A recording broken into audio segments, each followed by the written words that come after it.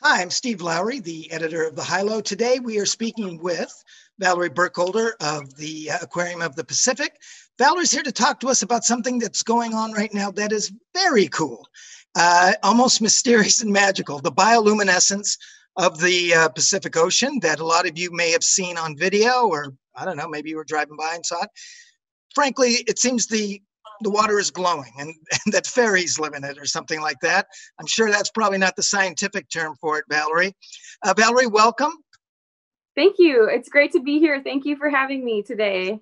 So, what is going on right now in the ocean that is causing it to glow?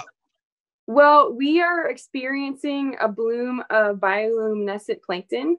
Um, these are tiny single celled organisms that create their own light they're photosynthetic, so they harn they harness the sun's energy and they're able to turn it into light at nighttime when the sun is not shining.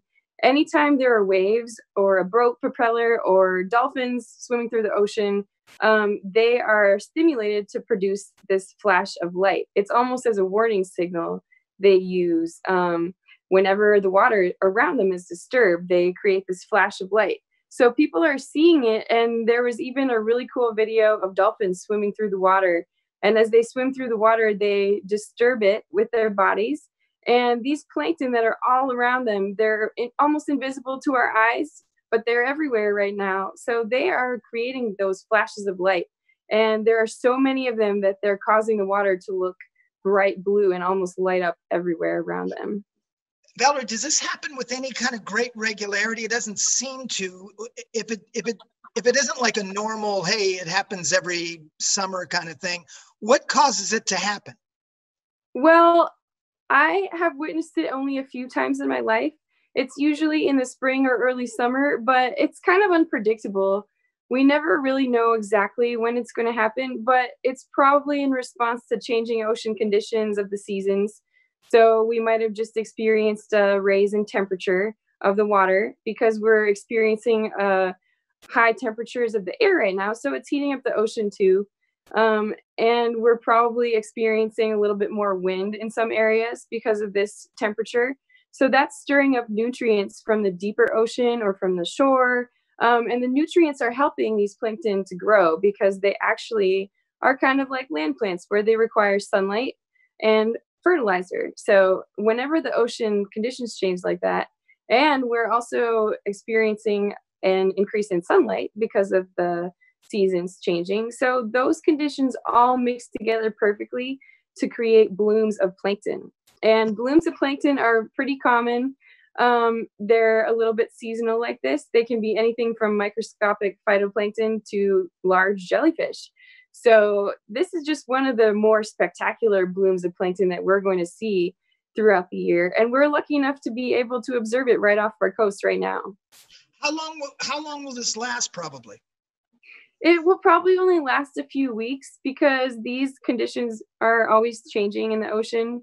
So as we get a little bit more towards summer, um, we'll see different ocean conditions. So that will bring different creatures and different blooms of plankton um, along with it. Now, here in Long Beach, we're probably not going to get the more spectacular uh, kind of visuals, are we? We probably won't. Um, maybe at some of the beaches, especially with higher wave activity, we might be able to see it. Um, it kind of depends on the currents of the water.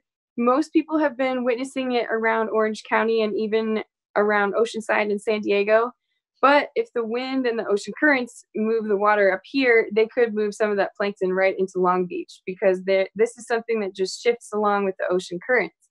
And if there's wave action, or if you're on a boat and the boat has a propeller, or you're just moving through the water, you see dolphins swimming through the water, you might get a glimpse of it. Right now, there's a video, uh, I think we'll have it attached to this story, of a boat in Newport Beach with two two or three dolphins going through the water and it mm-hmm. looks like something out of a, a movie like there's spirits or something like that it is absolutely magical have you seen that yeah i have seen it it is really amazing that someone was able to capture that video because it can sometimes be hard to get these low light shots at nighttime since it's only really visible at night but that was a really spectacular video and it does look almost otherworldly However, in the ocean, bioluminescence is pretty common. We're just getting a special up close and a very spectacular display of it right now, since this species of plankton is blooming so much right now that it's completely filling up the water so much that anything moving through the water is going to set off those flashes of light. D- d- having to do with the other sea life, is this good, bad, or are they completely indifferent to it? Um, this might be fairly harmless. There are some forms of red tides, which are plankton blooms that are closely related to this species that can be harmless, that can be harmful. Um, so I'm not sure. There are many species of dinoflagellates, which is the organism responsible for this plankton bloom. And some of the species are incredibly toxic, and then some of them are perfectly harmless and can be eaten by a wide variety of creatures. So it's hard to tell which species this is right now.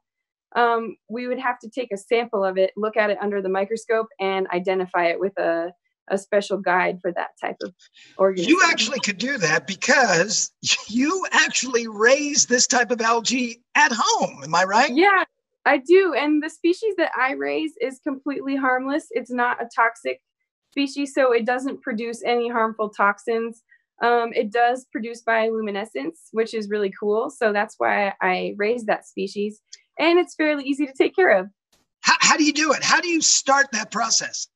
Um, well, I to start, I order a starter culture from a company or a lab that produces that sort of thing, which will be a small jar. It looks like a jar of water, but under a microscope, it would contain thousands and thousands of these single-celled animals.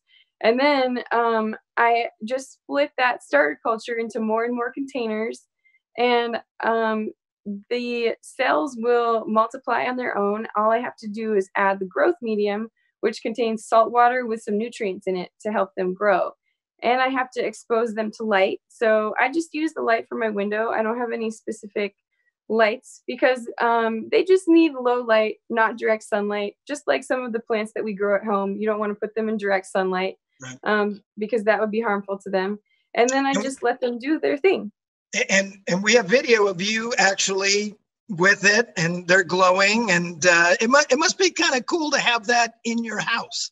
Yeah, it's lots of fun. So I can only see it at night, but as soon as it hits about seven o'clock p.m., whenever I shake the bottles or the jars, um, all of the cells in there will light up, and it'll look like blue glowing water, which is really really cool. It's like growing your own lava lamp. Actually, it sounds yeah. a lot like when I was a kid, we used to have things called sea monkeys you'd send away for, and I think it was shrimp brine or something like that that you could put. Yeah. Yeah, um, exactly. Valerie, you you obviously work at the aquarium. You live right next door in, in Harbor City.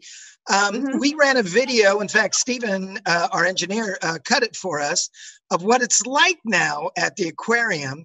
It it, it seemed both nice the, the the sea life seemed to be getting along but it also seemed mm-hmm. a little lonely. What's it like to work there these days? Well my job is mostly the same. However it's a little eerie without thousands of visitors there every day. Um, we're definitely not getting to show off our exhibits to the public as much right now. We still have webcams and everything where people can see them on the internet um, live streamed but we it's a little bit eerie to walk through a completely empty aquarium as I'm going about my daily duties. I mean, I'm not used to that. I'm used to thousands of visitors being there every day. But my actual job is more or less the same right now. Um, I'm just there to feed the animals, to maintain the exhibits, um, keep the filtration working properly, um, clean the exhibits, scuba dive in them, and everything. So um, I'm still performing my normal job functions, but we just don't have anyone to come and see our exhibits right now, which hopefully will change pretty soon. It, it may sound silly, but is there are there any animals there that you sense that they sense things are different, like that that the environment is different? Yeah, we do see a lot of differences in animal behavior right now. Some of the animals enjoy the social contact with the public like I think our sea lions and our sea otters are a little bit confused because they're used to running around with the kids and chasing them back and forth through the tunnels and everything. some of the fish seem to be coming out a little bit more than usual because they don't have anything around them to scare them back into hiding or to alarm them. So we're starting to see a little bit different behaviors in all of our animals. It just depends on the species. Of course, my animals are mostly jellyfish. So since they don't see anything in their surroundings, they probably have no idea that there are less people. But I do feel a little sad that there's no one around to admire them right now. Well, we're going to be admiring this, you said, for a, probably a couple more weeks. We'll have bioluminescence. Yeah, I think it might last for a couple weeks. As we get into summer, the ocean conditions will probably change again. So they will no longer be um, good for these animals as we get different temperatures in the water, um, different wind action. Usually, plankton blooms are pretty short lived, even with large jellyfish and such.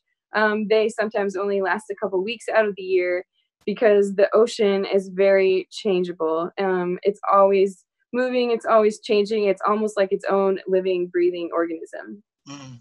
Well, we'll enjoy it while we have it. Please give our best regards to the jellyfish. Valerie, thanks for coming by and explaining what's going on. Thank you so much for having me. It was great to be able to talk about these things with you guys. Thanks.